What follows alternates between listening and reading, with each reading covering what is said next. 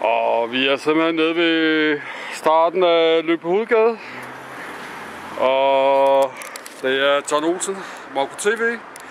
Og det afsnit, det hedder Fed mand igennem Lyngby 5 minutter på en cykel. Og vi kører simpelthen igennem Sovebyen Lyngby på 5 minutter. Men er jeg er dårlig form, så tager måske lidt længere end 5 minutter. Men øh, vi krydser lige downtown Lyngby. Og weatherhold til højre her.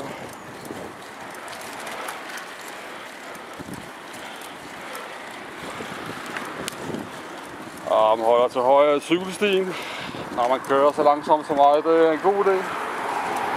Og man kigger så lidt bagud. Så ikke fylder det hele. Men øh, vi er simpelthen i starten af Lyngby Hovedgade igen. Og vi skal lige rundt rundkørselen her.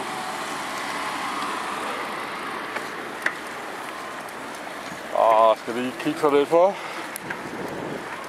Og vi skal til højre her.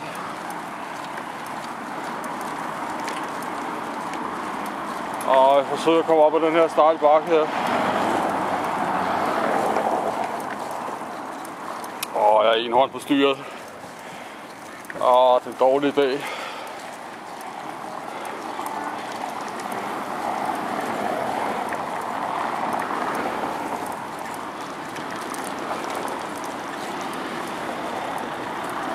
Og vi er oppe på toppen af bakken her.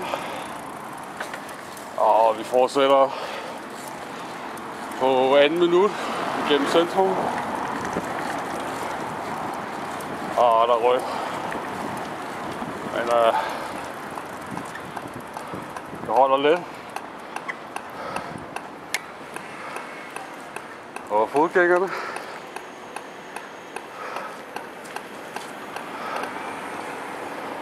Og kører igen.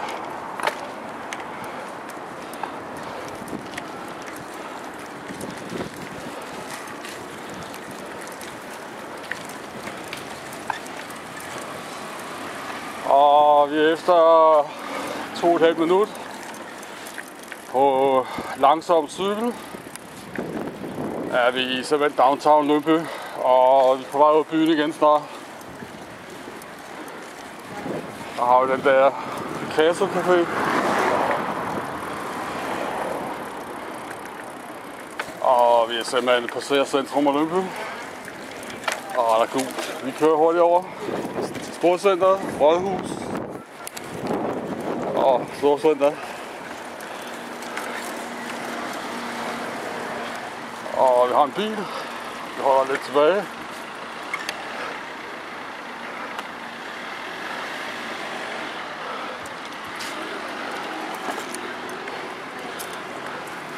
En god idé at tage hensyn til bilisterne også, når man cykler. Og har vi en café mere. Men øh, vi er på vej ud til vandet, og skal spare lidt på strømmen.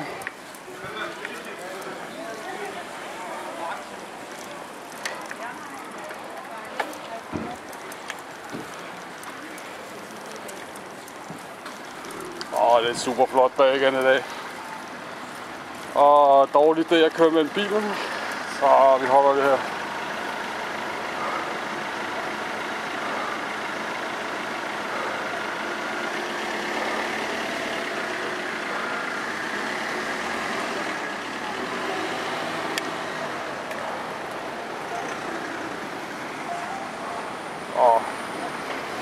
Plads til de erhvervsdrivende taxachauffører.